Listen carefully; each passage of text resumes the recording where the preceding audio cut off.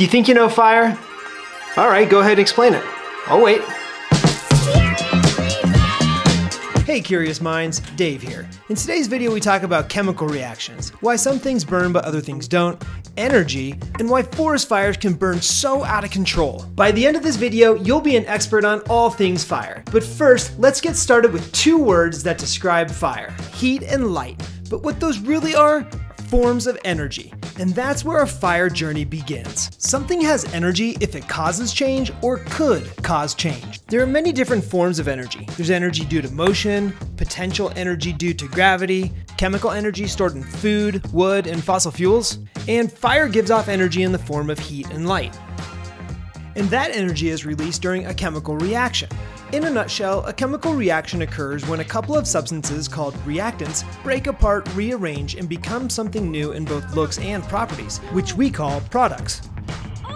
Fire is a chemical reaction, like when the cellulose making up this wood and another reactant like oxygen found in the air combine to make carbon dioxide gas and water vapor, releasing light and heat energy in the process. But if I just need oxygen in a fuel like wood for fire, then why isn't everything burning? Because in this reaction, to get it started, we first need to add heat energy, and then the reaction is self-sustaining, meaning it creates the heat it needs. As long as there is oxygen, heat, and a source of fuel, a fire will continue to burn, sometimes totally out of control. And now everything makes sense, like fire extinguishers. They cool the fire, smother the fuel, and cut out the oxygen by replacing it with carbon dioxide gas. It's ingenious. So you take away one of these three things, and there's no more fire. This is an air-filled balloon. What do you think's gonna happen when I put a flame to it? Whoa! But if I fill up the balloon with water and then I put a flame to it, nothing is happening because the water sucks up all the heat. Not allowing the reaction to happen. And this brings us to the question of why some things burn, but other things don't. So let's do a little experimenting. But don't try this at home, I'm a fire professional, sort of. I gave myself that title.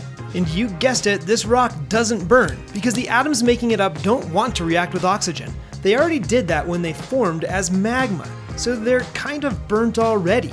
And we know the stick will burn, we've already covered that. And water is similar to a rock in that it already has the oxygen it wants, so adding fire to water cuts off its oxygen supply and the reaction will stop. And finally, alcohol, a liquid like water but totally unlike water chemically. It contains a lot of energy and is eager to react with oxygen. And while we're watching this flame, why don't you go ahead and count how many different colors do you see?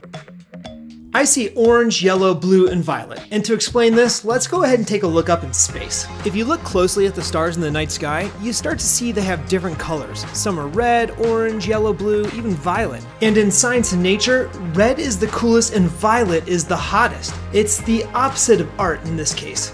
So a red giant star is fairly cool for stars, similar to the embers of a dying fire. And blue supergiants, they burn hot and fast, and this makes sense because the hotter something is, the more energy it is releasing, and violet is the highest energy wavelength of visible light.